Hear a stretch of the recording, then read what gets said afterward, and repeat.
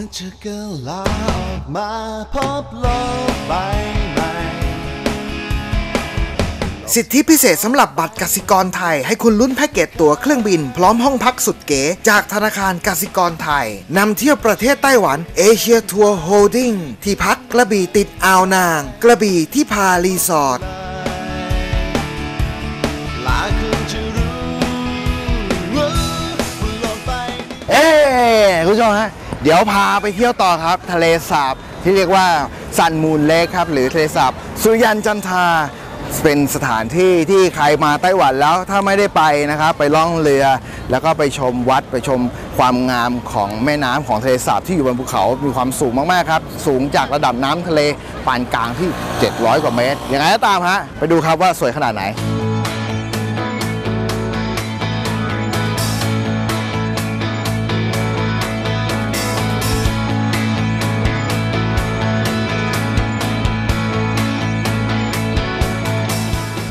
ไปดูมุมสูงกันครับว่าขึ้นไปอยู่ที่วัดแล้วมองลงมาในทะเลสาบนะครับ สวยขนาดไหน ตามมาห้ามพลาดฮะ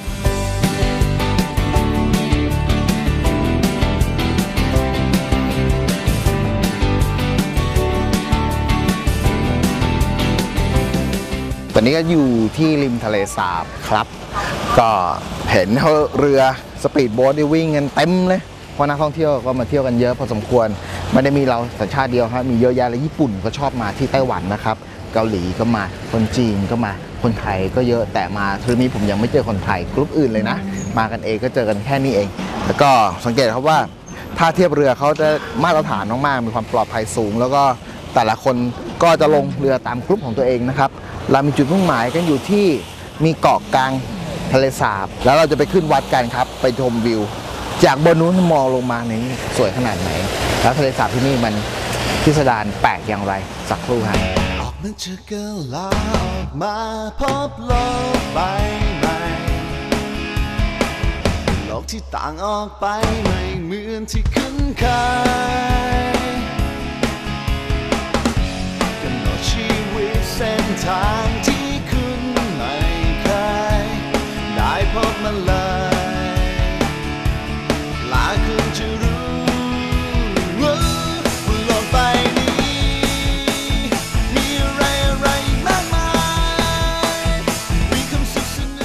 ตามเวลาฮะเดินทางมาถึงที่ศาลเจ้าพระตากซัมจั๋งหรือวัดพระตากซัมจั๋งแล้วนะครับ แล้วจุดข้างหลังผมเนี่ยที่เป็นก้อนหินก้อนใหญ่มีตัวหนังสือสีแดงภาษาจีนนะครับก็เป็นจุดไฮไลท์ครับที่ทุกคนเดินทางมาถึงแล้ว ก็จะมาถ่ายภาพพร้อมกับหินก้อนนี้เลยครับ เพื่อที่จะได้เป็นที่ระลึกแล้วก็เป็นสัญสญลักษณ์ว่าได้เดินทางมาถึงแล้ว และจุดตรงนี้ครับเราก็จะเห็นระเบียงตรงนี้มองทะเลสาบสุริยันจันทราได้สวยมากๆครับ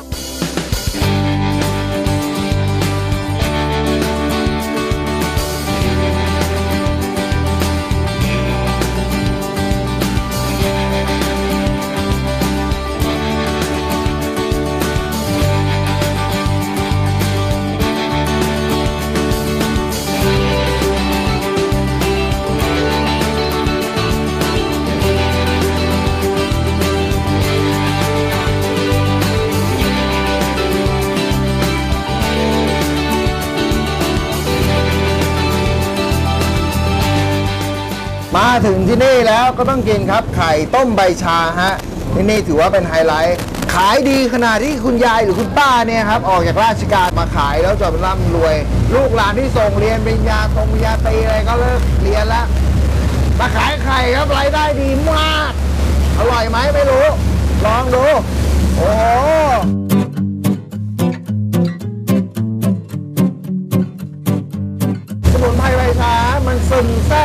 ขาไปในเนื้อไข่ขาว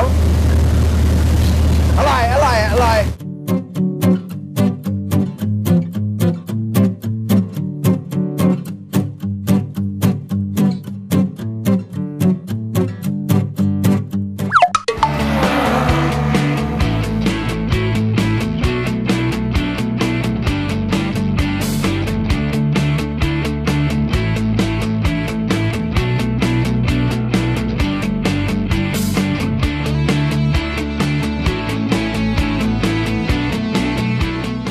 อนนี้อยู่ในห้องโถงใหญ่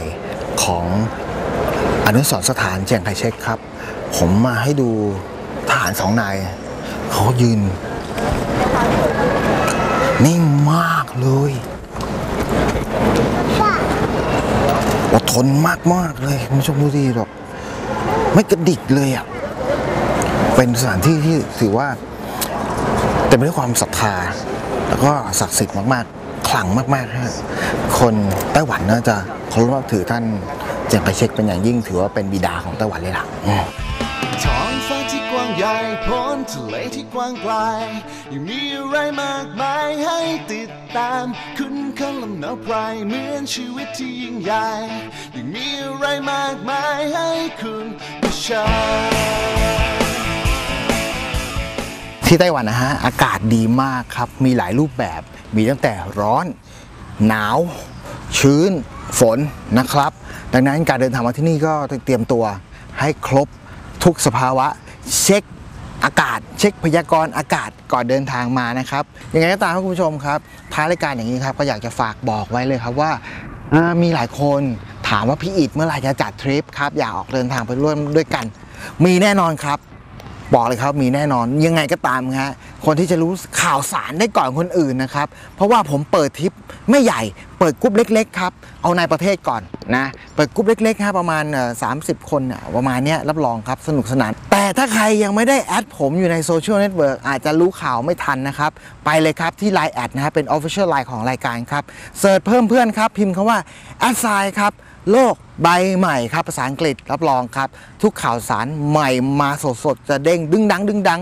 ไม่กวนใจด้วยนะ อย่างน้อยๆ วันละหน หรืออาทิตย์ละ2อสามหนนะครับ ไม่กวนใจแน่นอนครับ จะได้รับรู้แล้วก็คุยกันนะคุยสดๆกันเลยครับ แล้วก็แฟนเพจของรายการแน่นอนครับ ไปที่แฟนเพจ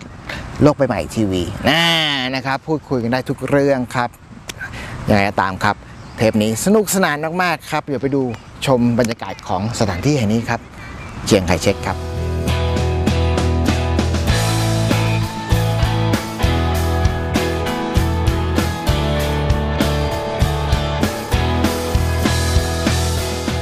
คุณผู้ชมครับการเดินทางในครั้งนี้ถือว่ามีความสุขและสนุกมาก ๆ หวังเช่นกันครับว่าคุณผู้ชมจะได้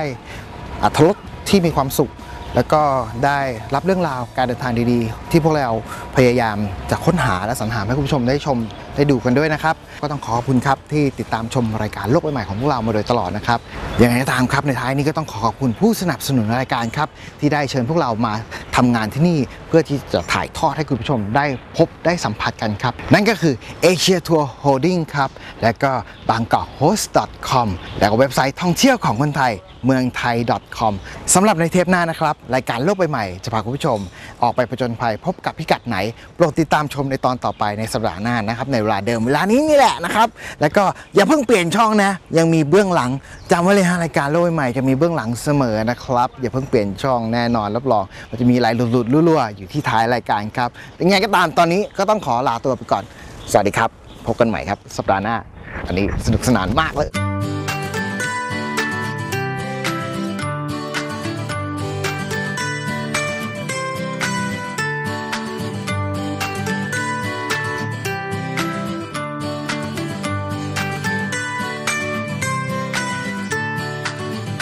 วันนี้เรามากินเสี่ยวหลงเปาครับ เป็นอาหารท้องถิ่น มีหลายไส้เลยมีไส้หมู ไส้ปู ไส้กิมจิฮะเสี่ยวหลงเปานี่คือซาลาเปาที่มีน้ำอยู่ข้างในฮะมาในสภาพนี้ก็คล้ายๆขนมจีบนั่นเองครับ แต่ว่าเวลาทานต้องระวังนะมันจะร้อน เวลาขี้เขาบอกขี้ที่จุก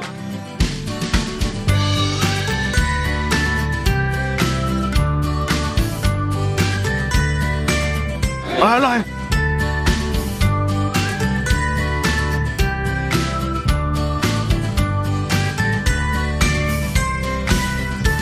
หากลิ่นเต้าหู้เป็นเจอร้านรองเท้าแวะเลย โดนกันไปคนละสองคู่ มันอดใจไม่อยู่จริงๆฮะยังไงตามเดี๋ยว ไปดูต่อครับไต้หวันมีอะไรน่าเที่ยวตามมานะรับรองสนุกแน่นอนครับ